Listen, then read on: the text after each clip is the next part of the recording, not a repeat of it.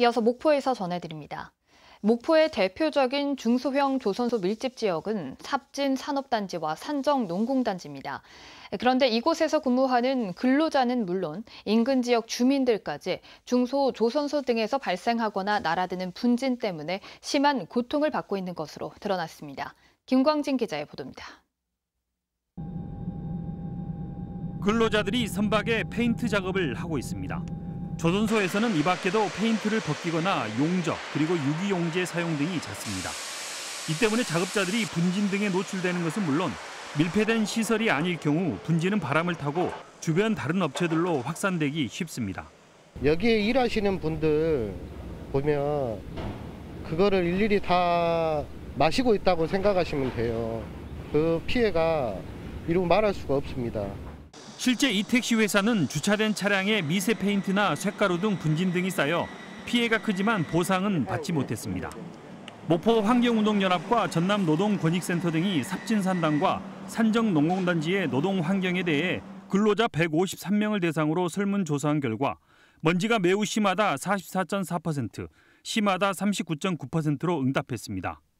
또 쇳가루가 많다 76.5%, 페인트 냄새가 심하다 73.9%, 소음과 악취가 심하다에 70% 넘게 동의했습니다. 자기가 특수건강진단 대상인지도 모르고 또 특수건강진단 받은 적도 없다고 이렇게 하니까 아마도 어, 정밀 조사를 해서 정말 문제가 있는지 확인해 보는 것이 필요할 것 같습니다. 또한 조사자의 66.3%는 건강상 문제가 있다고 응답했고 50% 이상이 정신적, 경제적 피해를 호소했습니다. 이와 관련 목포 환경운동연합과 전남 노동권익센터는 목포시와 고용노동부 그리고 환경부가 나서 중소형 조선소가 밀집된 삽진 산단 등에 대해 정밀 조사와 산업안전 보건 실태 조사를 요구했습니다. KBS 뉴스 김광진입니다. 전라남도가 오늘 전남의 모든 목욕장과 체육시설 등 다중 이용시설 종사자를 대상으로 오는 22일까지 코로나19 진단검사를 의무화하는 행정명령을 발동했습니다.